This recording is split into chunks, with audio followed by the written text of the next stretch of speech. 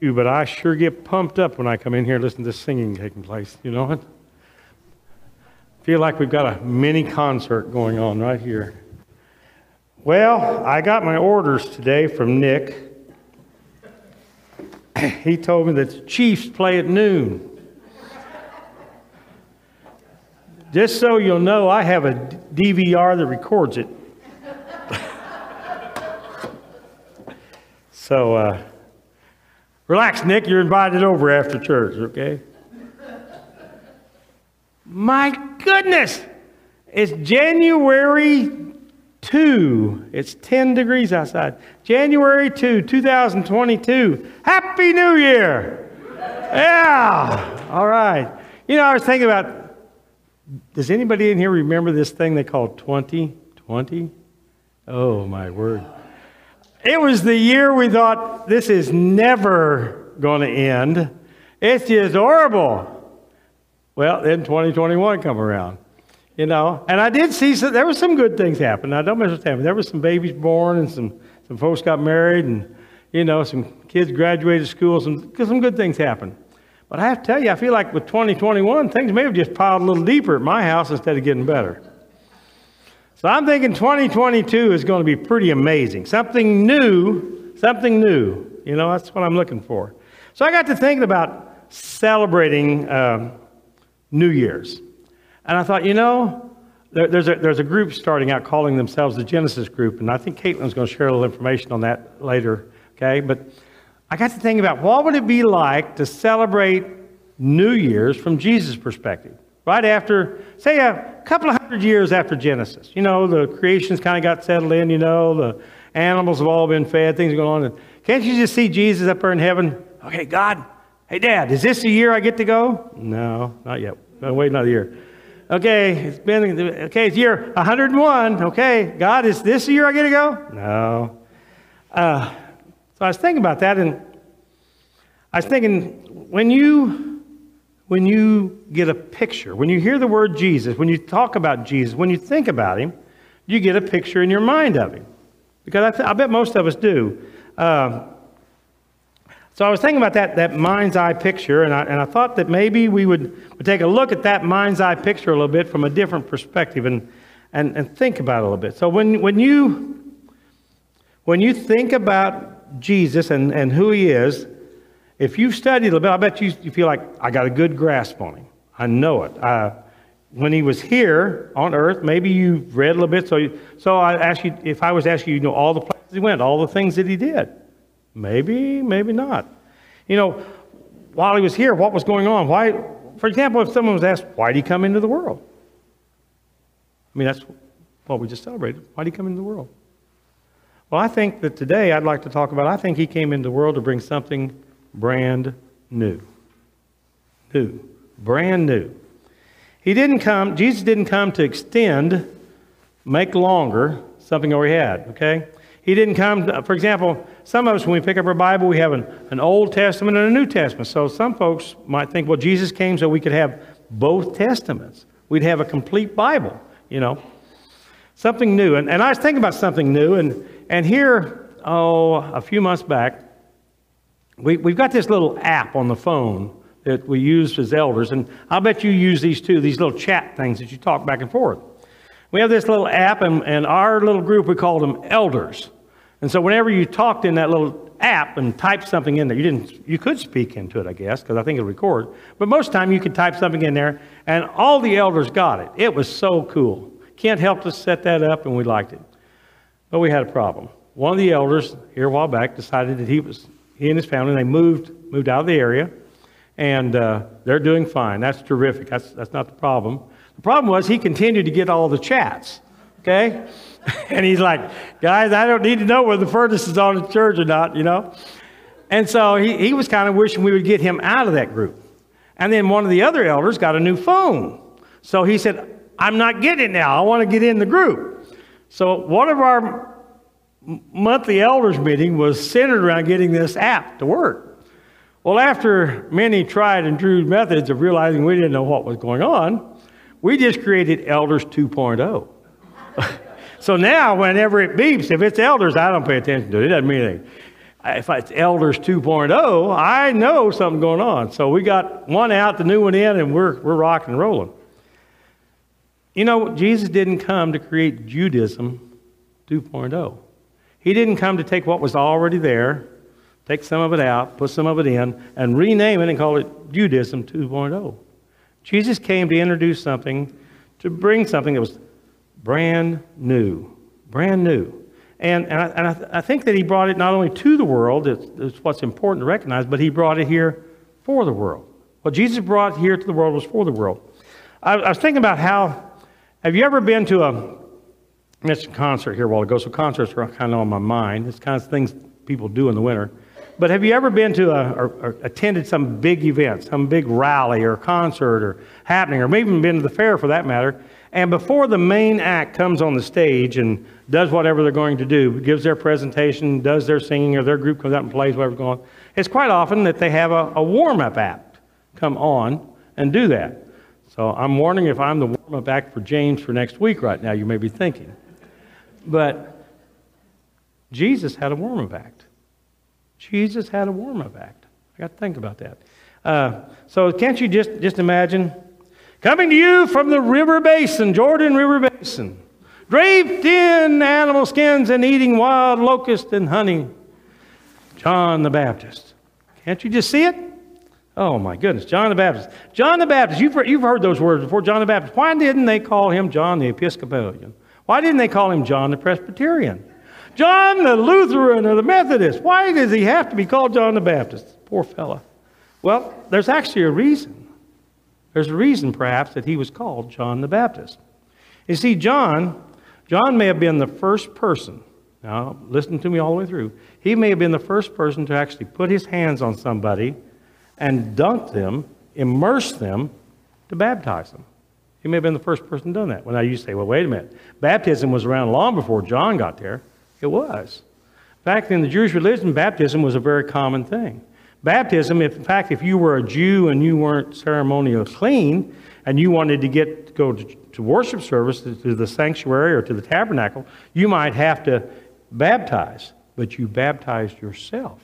You washed yourself. You got into a basin and you washed yourself to get clean so that you could go to church, go to their, not church, but to the, to the synagogue or the temple.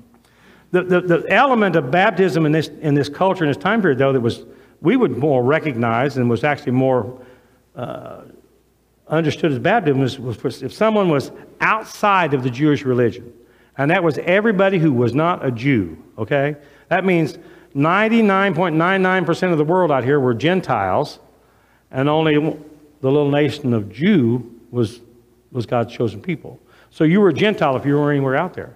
It wasn't uncommon for people to look at the Judaism faith and realize there's something there that I want to participate in. I like what they do. They, they, they practice love. There is, there's some good things about Judaism. So people would convert from being a Gentile, a non Jew, and becoming a Jew, becoming in this, in this process. And you could, there was a conversion of it. So this non Jewish person could become a Jew if they did some certain things.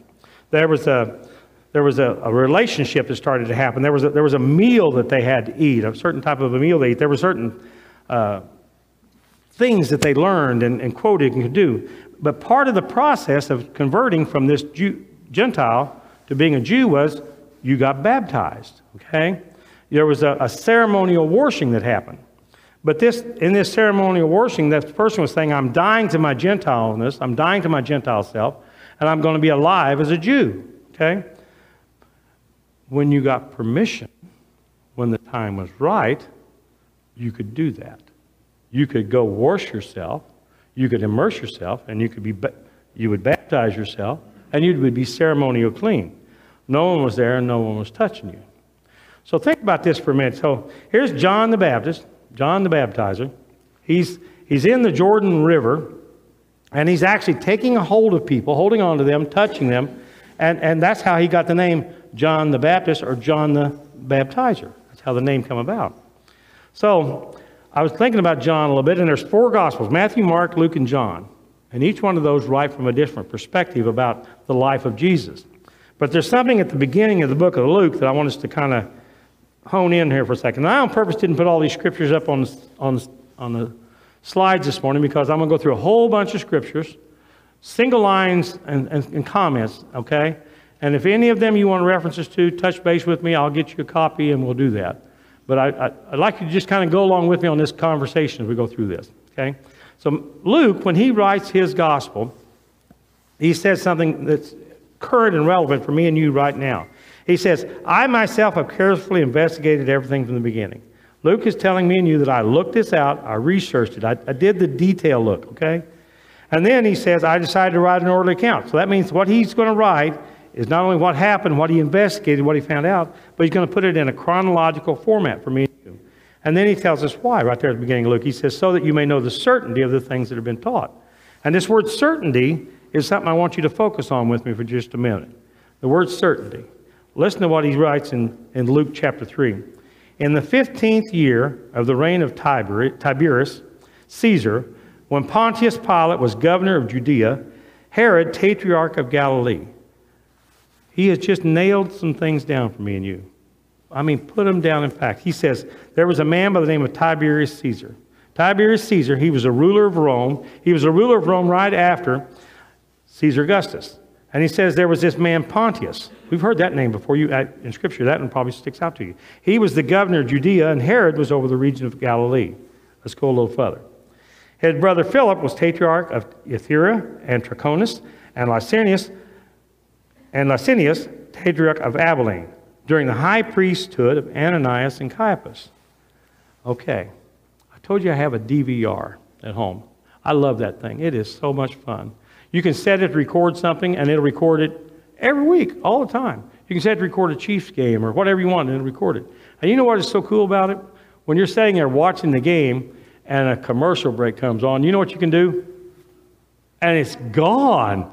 You can either hit the button one time sometimes, and, and 30 second commercial's gone. But if you hit it just right sometimes, the whole thing disappears. It's so cool. And I got to thinking, you know, there's sometimes when we read text like this, we read this kind of text, that's exactly what we do. We just hit the button and go right on past them. We miss it. You see, I just got to thinking, you know, we have Christmas pageants and Christmas programs and things. Have you ever heard an angel or a shepherd say, and his brother Philip, tetrarch of Iturea, and Trachonitis, and Lysanias, tetrarch of Abilene? We don't ever have those little shepherds learn those words, do we? We just skip right over them. But the reality is, is, in this text, is something very, very, very extraordinary happening. What Luke is saying to me and you, and this is so current in our time right now, he's saying, fact check me. Pull it up on Snopes. Look it over. See if this isn't real. Pay attention to what I'm saying. He's not telling us this isn't something like a long time ago in a galaxy far away.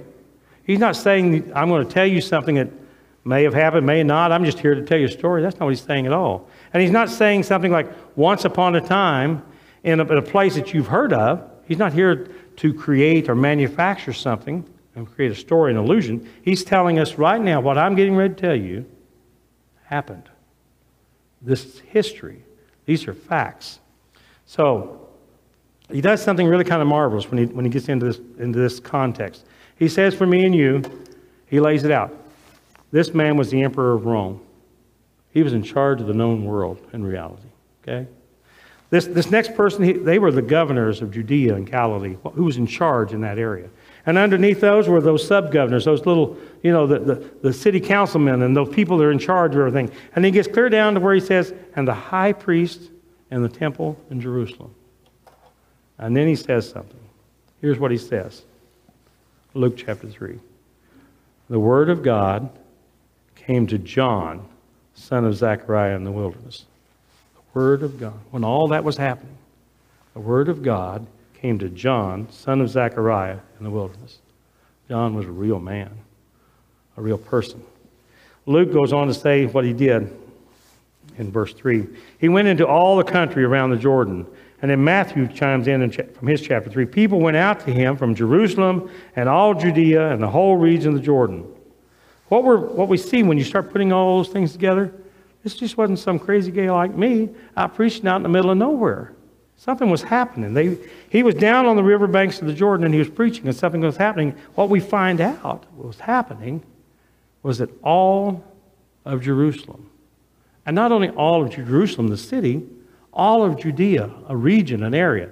And all those people who covered and reached within the Jordan River Valley, they were, they were coming in to see this. What, what, what he's telling us is this is a Black Friday sales event on steroids. This is huge. Everybody is coming there to get a piece of this. Everybody wants to know what this man is selling. This is hot stuff. We want to find out what's going on. So, this is the deal to get. Thousands, thousands of people are coming out there to the place. And this place that we're talking about, it wasn't like being here. This place was hard to get to. This was a difficult place to get to.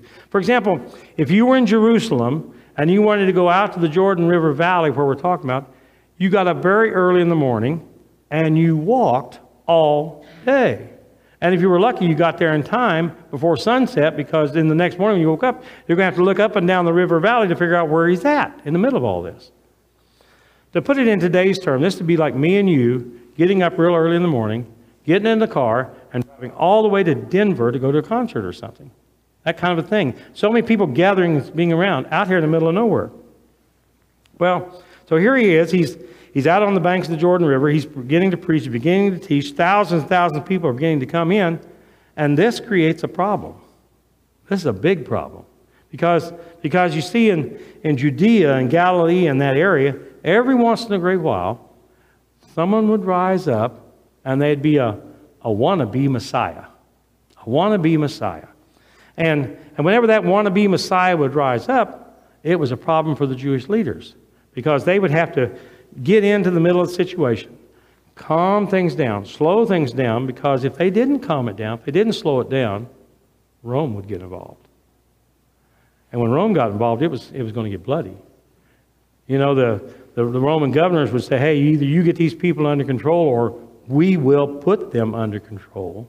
You won't like the way we will do the control, but we will make it happen. In fact, what's kind of interesting is during this time period, in this period in history, this is kind of a, a good thing for King Herod and his sons. In this period of time, Herod and his sons had managed to manage those situations where it had been relatively peaceful for some period of time. But now, all of a sudden, out, out in the middle of nowhere, out in the wilderness, on the banks of this Jordan River, is this man, John, and he's preaching thousands and thousands of people are coming to hear him coming to hear what he's got to say. But what's, what, what's even more troubling wasn't just that they were going out there to check it out, they were actually doing something when they got there. Matthew chapter 3 says when they got there, you know what they were doing? You ready? They were confessing their sins. They're confessing their sins. You and I hear that in the 21st century, and it's like, oh, pair of blue jeans. No big deal. That's not the truth.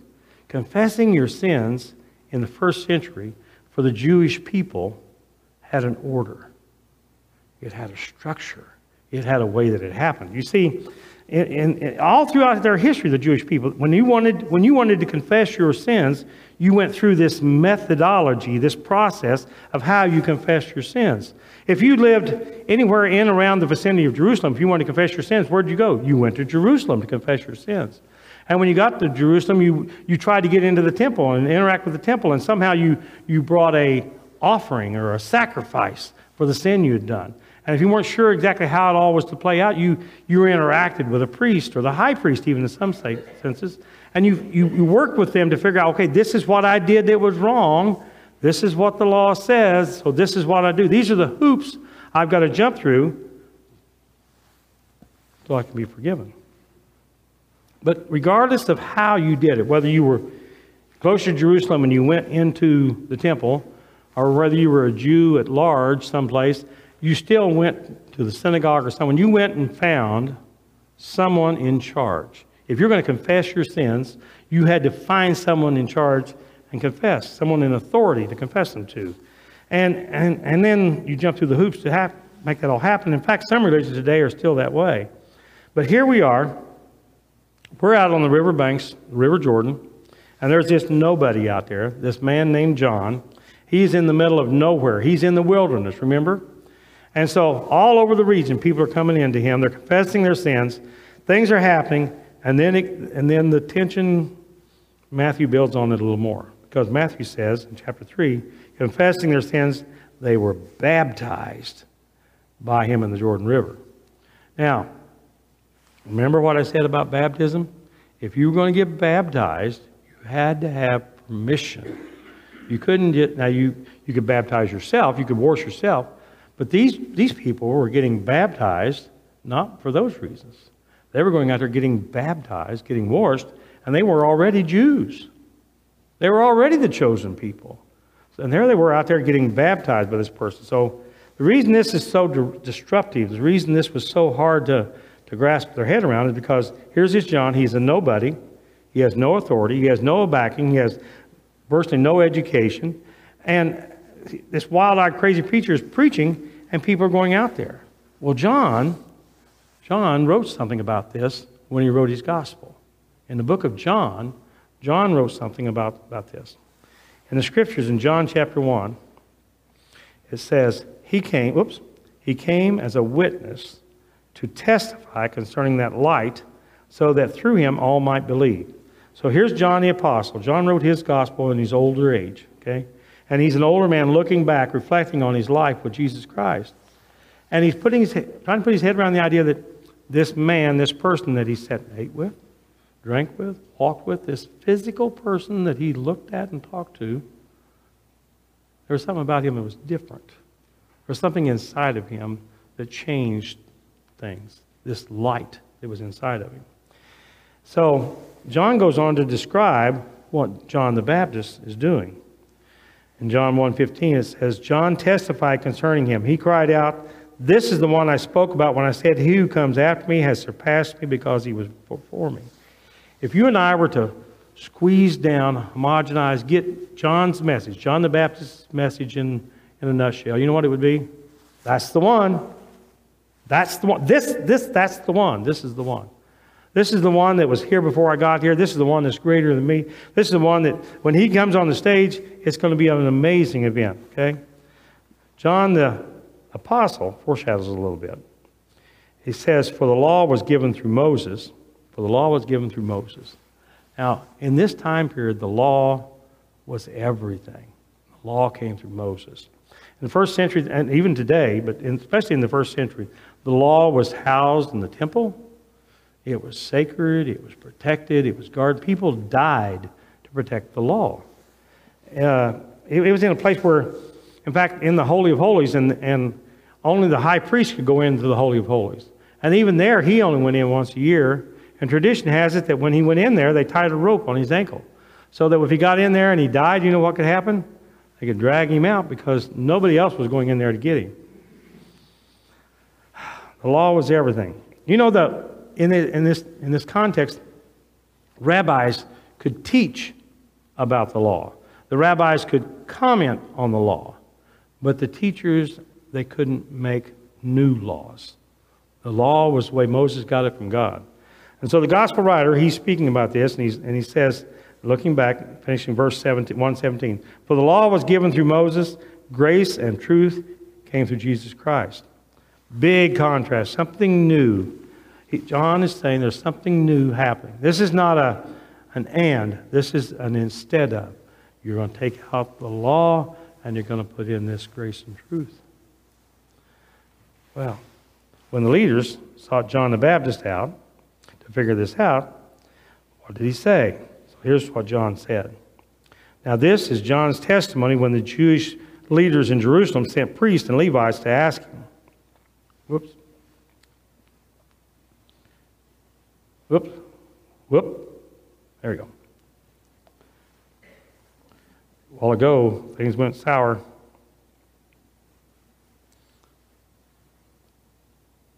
Okay. So here he is. He's out on the water, out by the water. Give, get my verse back in my head. So this is John's testimony when the Jewish leaders in, the, in Jerusalem sent priests and Levites to ask him who he was. Okay. So get the picture. It's a, it's a Black Friday sales event out on the River Jordan. Everybody's out there, and the temple is empty.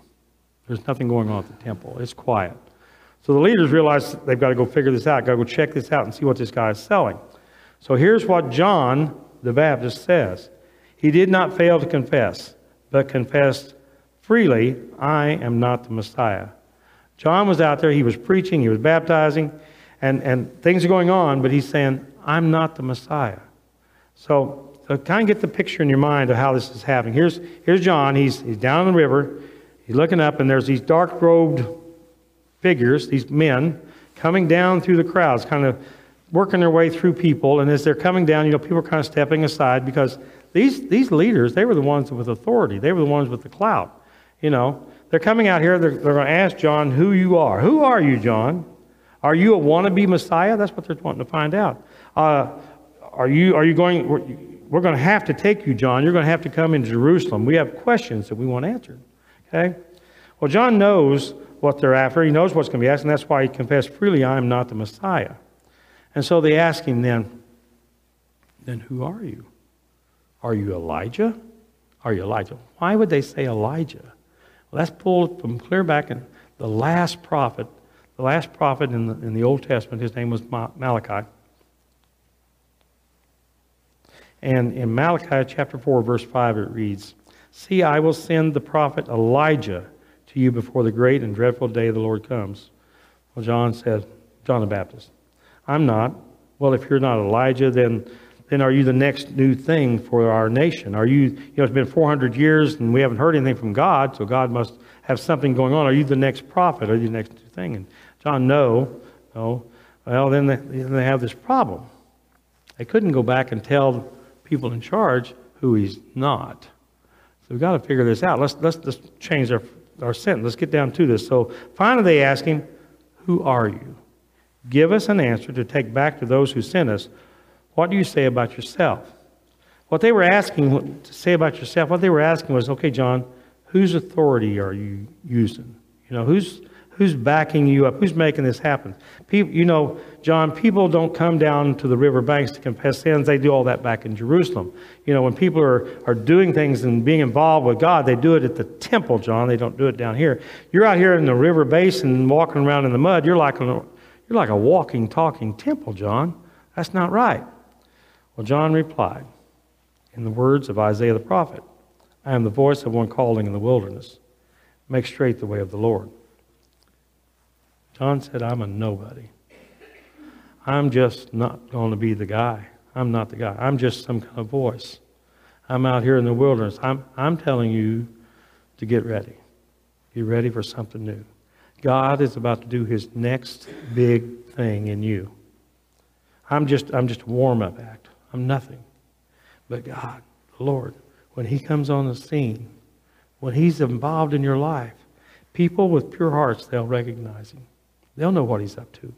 People with pure hearts who are looking for Him, who are ready to repent, they'll see Him.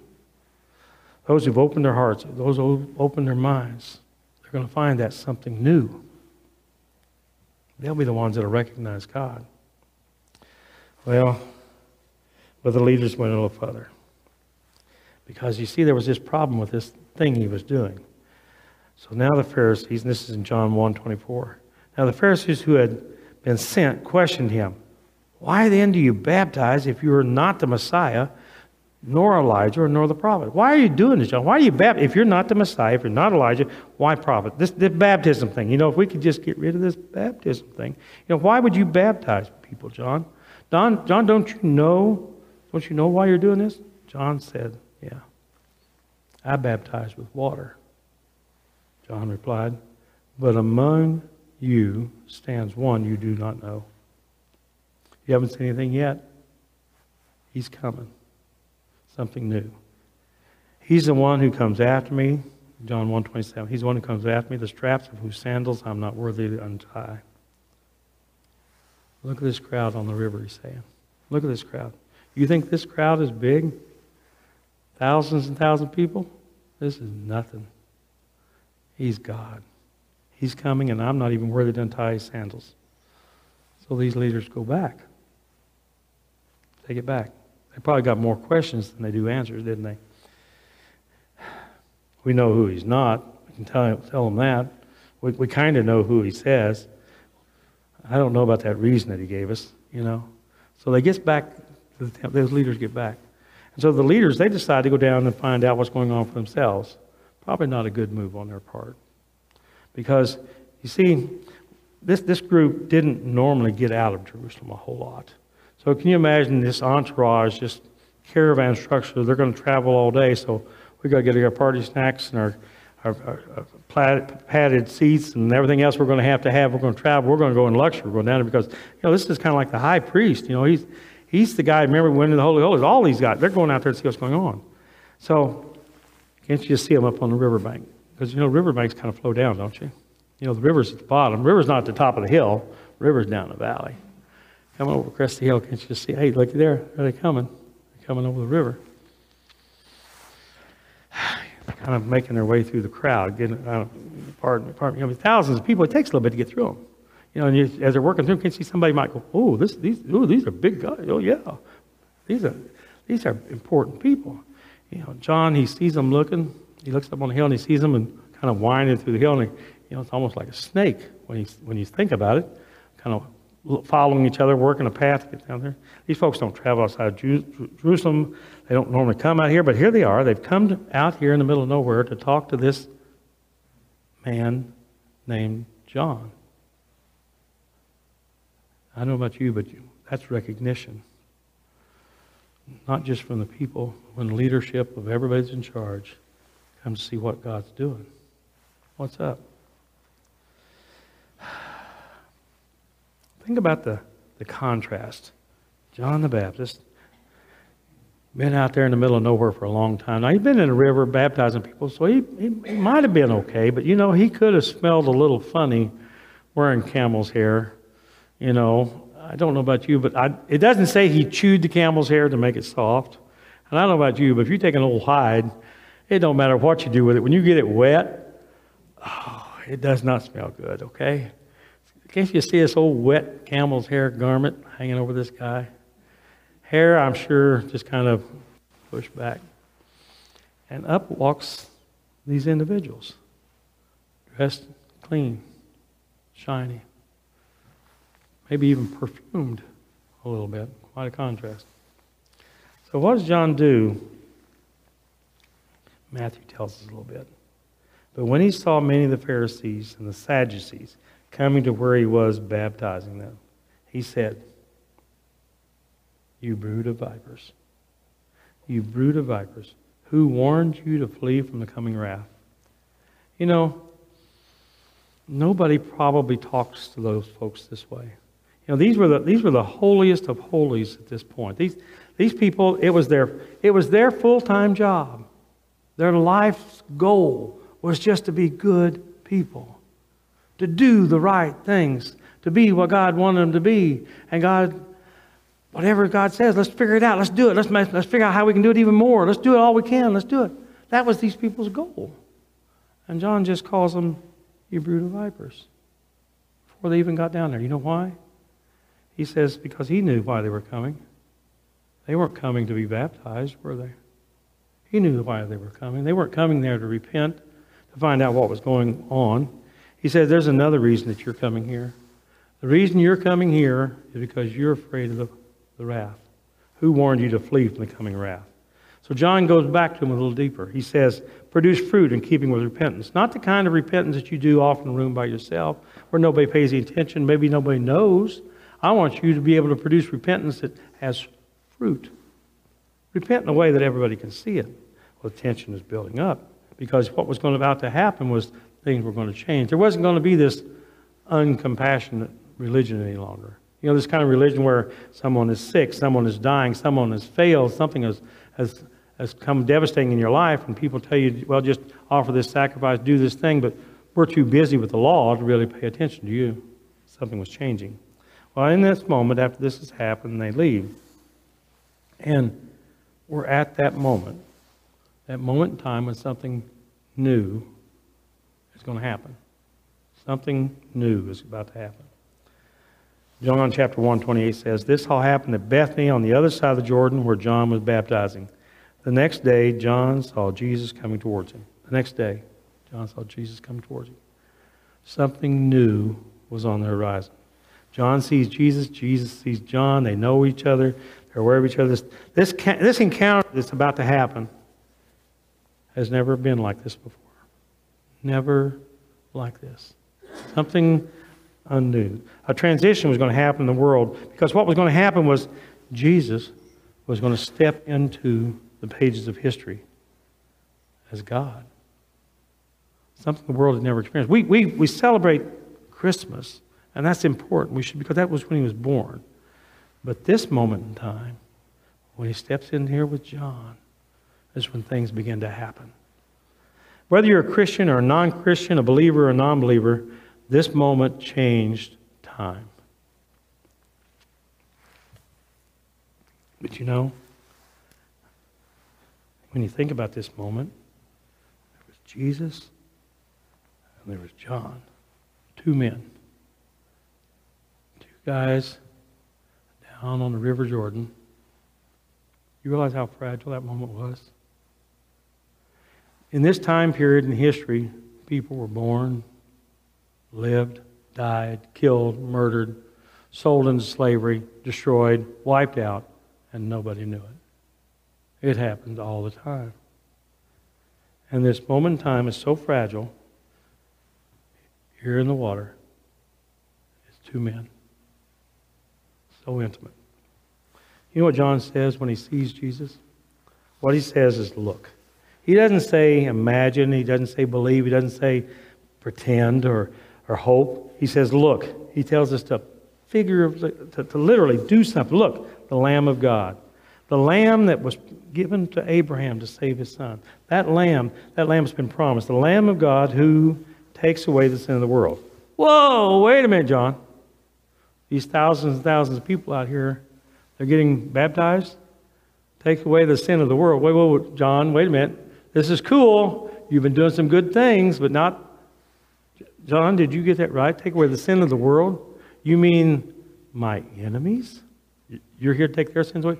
The Roman sin. You're going to take Roman sin away, John? This, this lamb can do that? Everyone. So then, John, why? Uh, that doesn't make sense, John, because see, all along we've, we've been we've been part of God's people, and we, and we we don't eat their food, we don't we don't wear their clothes, we don't marry their their daughters, and we don't let our sons their sons marry our daughters. We we don't go in their house, they don't go in our house, John. We we we want to be separate. Okay, why this? See, they were waiting for a Messiah like Joshua, who's going to come and destroy, wipe out, take all the sin out of the world. Okay? They understood sin would all be gone. God is saying the sin's going to be gone, but the people are going to be here. Jesus is the bridge between the two covenants, the old covenant and the new covenant. He's the bridge between two value systems, two different law systems, two different whole world views. Um, you remember when, when Abraham was around, which is long, long, long before the days of Jesus, long before, centuries before. God told Abraham that the whole world, the entire world would be blessed. That's what's about to happen right now. The nation of Israel lost sight that they were a temporary means for an eternal end. Well, the end has come. God's finally going to do what he's going to do. So he's this bridge between the two covenants, born under the old to introduce the new. So, quite often, those folks who want to hang on to the old are the ones who are benefiting the most from it and getting the most out of it, least inclined to let it go. So when Jesus stepped onto the pages of history, the temple system was really a very wealthy, lucrative program. It was nice the way it was working. Back when you look at it, Jesus never had a whole lot favorable to say about the temple, did it? But ultimately, even that temple that was there to promote God and do God joined with Rome, joined with the world to condemn him and crucify him. But this isn't the end. Jesus came to establish a new covenant, a new relationship, a new agreement between us and God. He let, if you, if you uh, if you read things in the Old Testament, sometimes it's hard to, to reconcile. How could this God in the Old Testament be this God in the New Testament? How could that be? What Jesus would say to you is, this, this is the new God. This is, this is God as he was, God as he is, but this is how he relates to us in the world now. The old is done, the new has come. A new command. You know, Moses went up on the mountain and got a, got a list of laws and order of how people were to live and function and, and, and set them down, and people got them. When, if you remember how Jesus taught, Jesus would say words like, You heard it said, but I say. You heard it said, but I say. Jesus took 600 different plus commandments and condensed them down to two, and even those two, he condensed down to one. Okay? Condense it. This new movement. A new movement. That's the third thing he came to start in place. And that's me and you. The church. Us. Okay? So can't you just see that moment, that day, down there at the river? Jesus makes his way down the water. John's there. He's baptizing people. And Jesus says, Okay, John, baptize me. And John looks at him like, No, no, no, no. You know, I, I just told everybody I'm a nobody. I just told everybody that I am insignificant. I just told them I'm not worthy to untie your sandals. Jesus wanted to be sure that he was identified with that this movement. This thing that's going on, this, this bringing something new into the world. John said that, look, the Lamb of God who takes away the sin of the world. On a dark Friday afternoon, about 2,000 years ago, that happened for me and you. Jesus completed that. He died for me. He died for you. He died for the Jews. He died for the Gentiles. He died for Rome. He died for the world.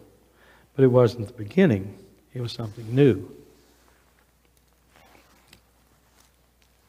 If you're here today, let me, let me condense this down real short. If you're here today and you don't have a relationship with Jesus Christ, here's what's going on in your world 2020, 2021, 2022. You hear the word new to the point that it's diluted, it's not real. And that's because we've got to where we think of new as just something we haven't had before. I got a new truck the other day. It's a 2008 model, okay? The deceiver has taken the word new and diluted it to the point that you think when someone talks to you about Jesus, it's a lie. It isn't real. This man, Jesus, couldn't have stood in the water like that with this man named John. This man named Jesus, he's just not capable of understanding all the sin I have in my life. This man named Jesus couldn't do that. He is. He is God in the flesh. There is no sin in your life, no turmoil he can't handle, no problem.